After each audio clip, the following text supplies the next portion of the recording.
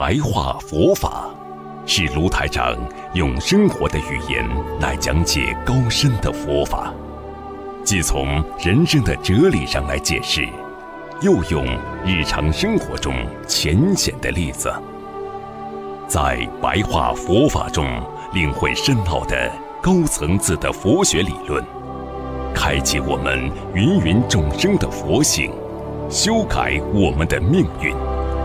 请收看卢台长的白话佛法。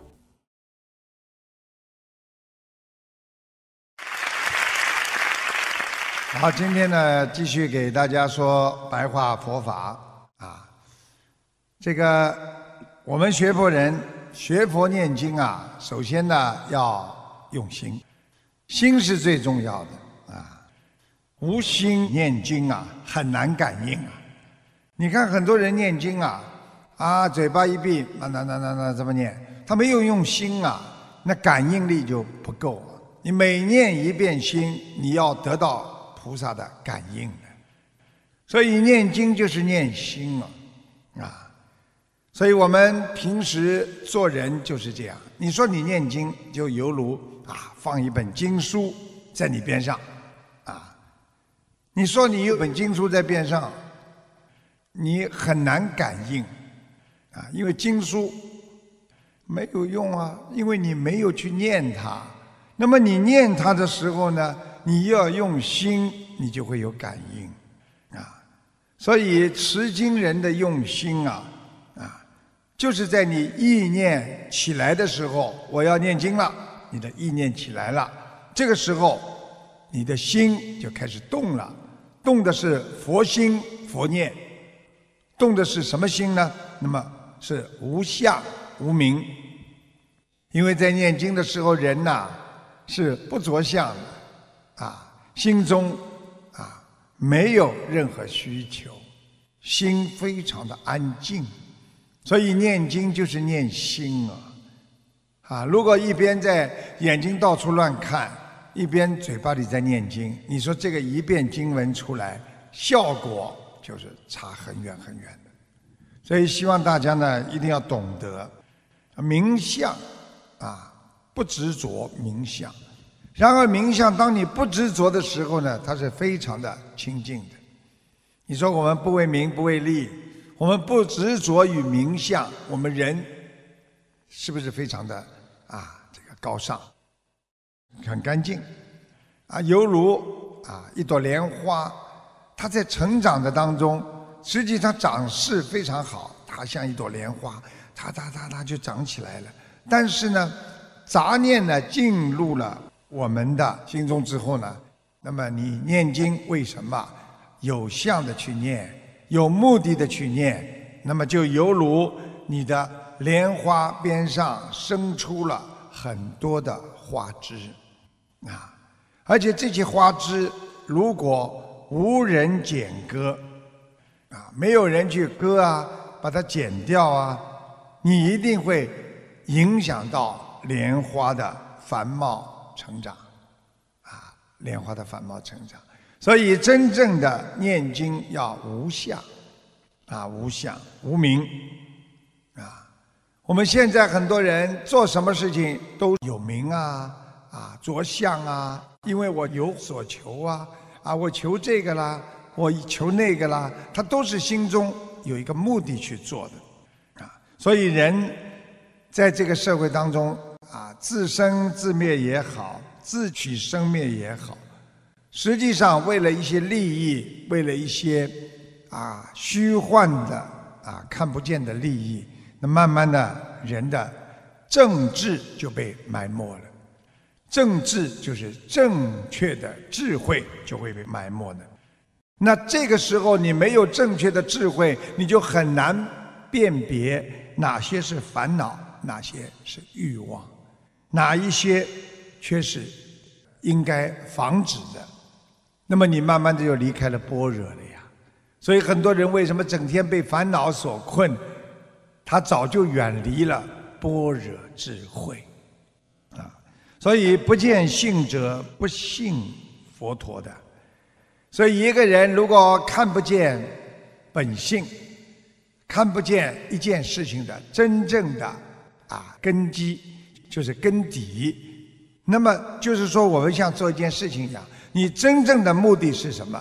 很多人说我做义工，我只是为做义工而做义工。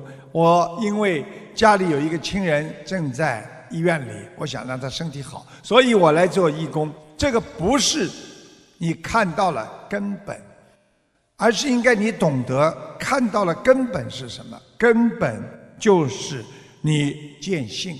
因为我今天为了救度众生。因为我把自己的家里的亲人，哪怕在医院里的亲人，也看作是一个众生。我今天学佛，在救度众生。那么，我相信佛陀，相信观世音菩萨。我学着观世音菩萨在救度众生。那么，你就是见性者。所以，若见性者，视之为佛呀。如果你这个人见到了本性，你就是佛。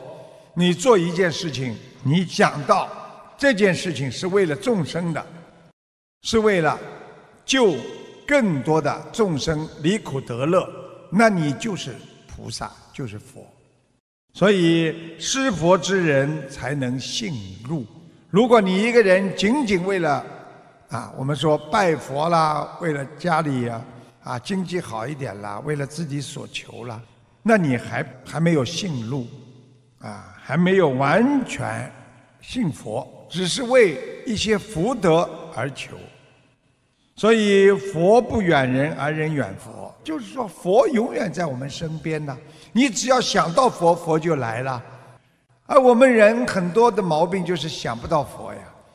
你看我们现在有很多佛友，白天念经念佛，到了晚上呢做噩梦的时候，他也很自然的叫观世音菩萨，南无观世音菩萨。马上醒过来，啊，远离噩梦。但是我们有很多人根本脑子里平时没有想到菩萨，所以等到他碰到困难的时候，他也想不起来，第一时间要求菩萨。等到他做噩梦的时候，他也想不到，我第一时间我必须先要求得观世音菩萨。所以，即心即佛呀，你的心就是佛。你今天能够有这个心，你就是这个佛。你今天能够解脱，就是因为你没有离开佛。所以，佛不远人，就是告诉我们，因为我们人迷失了自心和自信，啊，而我们不知道，我们离开了。菩萨，我们不知道，所以人就远离了啊佛法。就相当于一个人明明应该懂这件事情，但是他为什么做不到？他不懂，因为他迷失了方向。啊，你今天喝酒开车，你明明知道这条路是对的，但是你开开开开，你开错了。那么别人拦住你的时候，你说，哎。我本来应该这么开的，我怎么会开到那里去？是你离开了你原本的道路，而不是这个道路离开了你开车的意念。所以佛是心作呀，啊，就是我们心。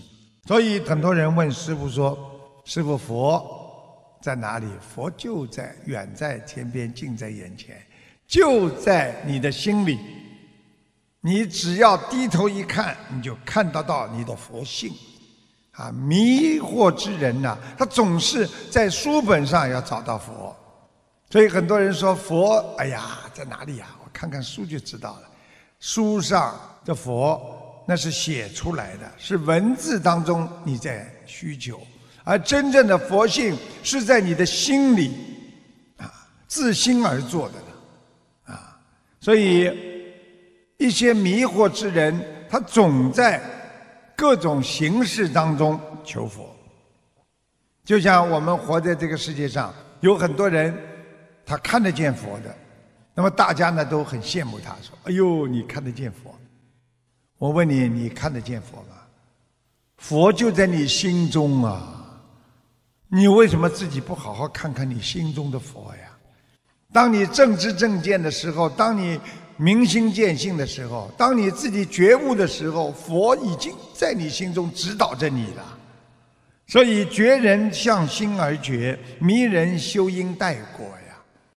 一个迷惑的人，哎呀，总是在修啊修啊，我要修到看到佛，我要修到离苦得乐。实际上，在你修心的时候，你这个善因种下去了，你用不着等到这个果的，果自会来的。当你做件坏事的时候，你这个因种下去了，果报一定自受。啊，如果觉悟的人，你只要问问你自己的良心，这件事情我能不能做？如果不能做的话，你的心就是在觉悟当中，觉者就是佛呀。当你心中明白了，我想通了，我开悟了，那你就是佛在心中。所以，师父希望你们悟人了无心相。开悟的人，你想想看，他根本不要去天边寻佛，佛在心中啊。所以我们平时应该修因懂果，而不应待果，不应该自己做了因都不知道，天天还等待着果报的现前。所以很多人说我。去年来求过菩萨，菩萨怎么到今天还不给我啊感应？所以迷人植物守我未己呀！啊，一个迷惑的人以为这个东西是我的，在这个世界上，这个是我的，那个是我的啊，他不知道啊，本来就无我，你从哪里来的？从你生出来之前，你在哪里？所以你把你的家庭啊、你的亲人呐、你的名啊、你的利呀，还有你的烦恼啊，还有你的自我的生死啊，你都当成真实的。哎呀，这是我的。那么你慢慢的就会执迷了，就会执着不舍得这些名利了，你放不下了。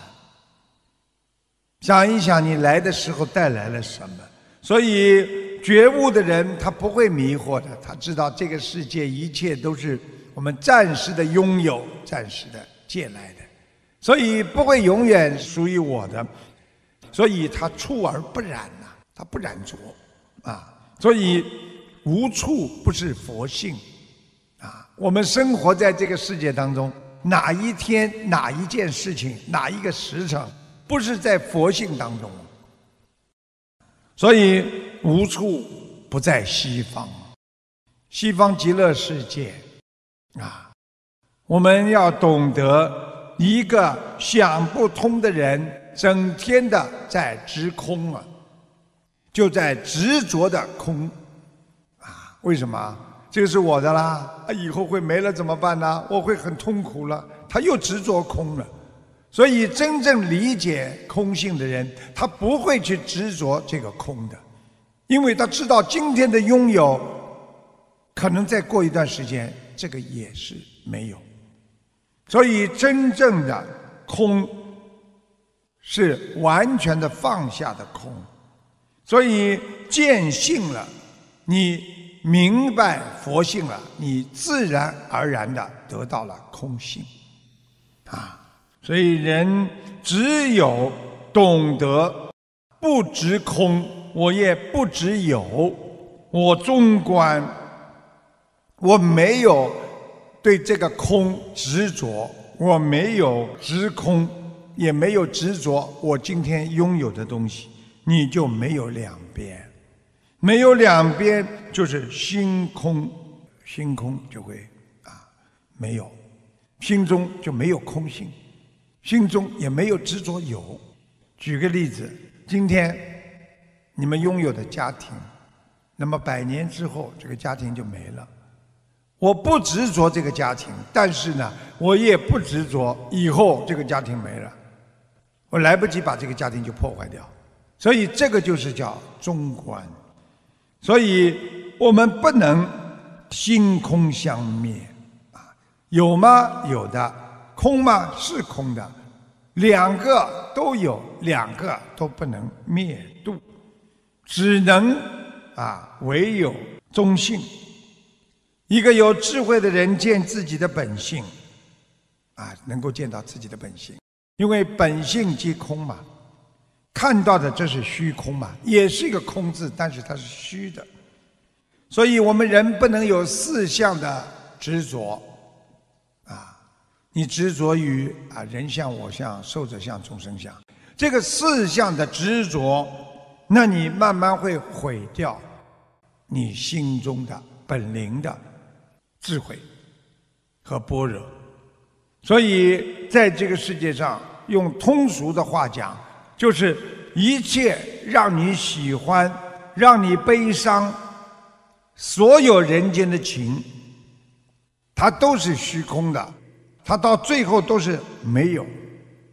它有时候像一张网一样，我们自己用了执着、执空。和只有来慢慢的编织了这张网，来慢慢的主宰着我们每天的悲伤和幸福，是我们自己的感受，我们自己的悲伤和幸福，每一天的爱情、友情、兄弟情、父女情，每一天的母子情和朋友之情。每一天执着在里边，觉得这是我值，这是我应该拥有的，所以一旦失去，就会痛苦万分。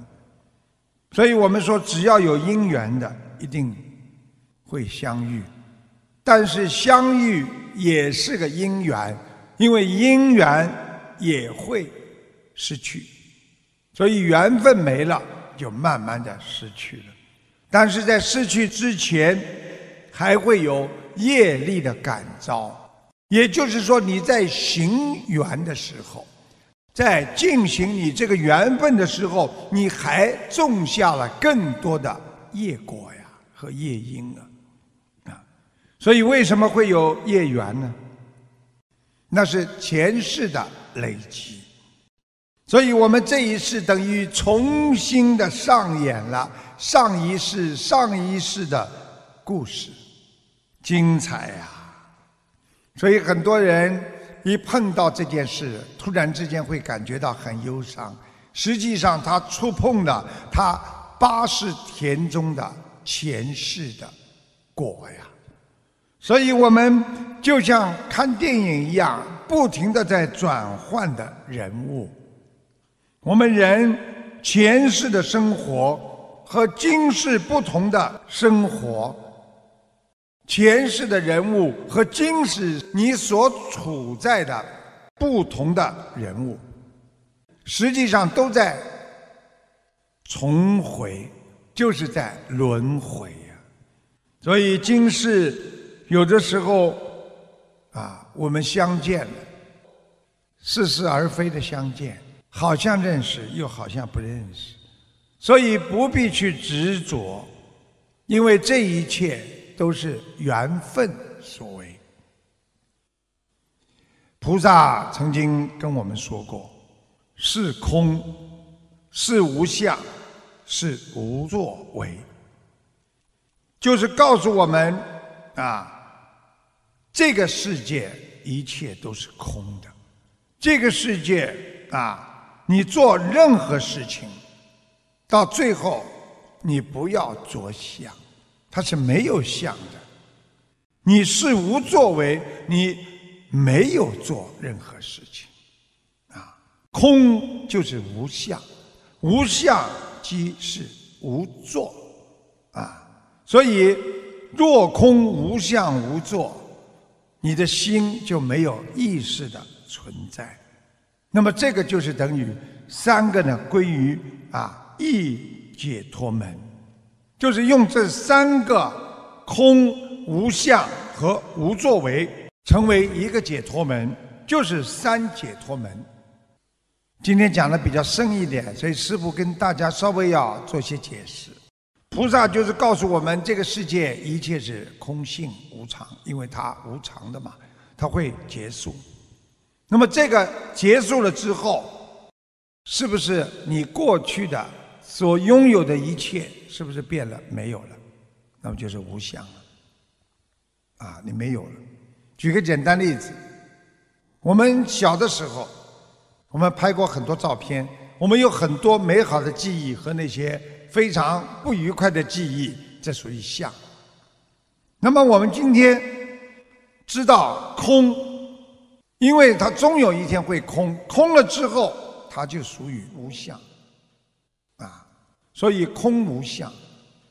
因为空了无相，你没有这个记忆了，你已经无相了。我问你，你小时候很多事情，你做过没有啊？做过，做过在哪里呀？无做。你做了哪些有为之事啊？曾经做过哪些事情啊？无作为。所以就是告诉你们，这就是三解脱门。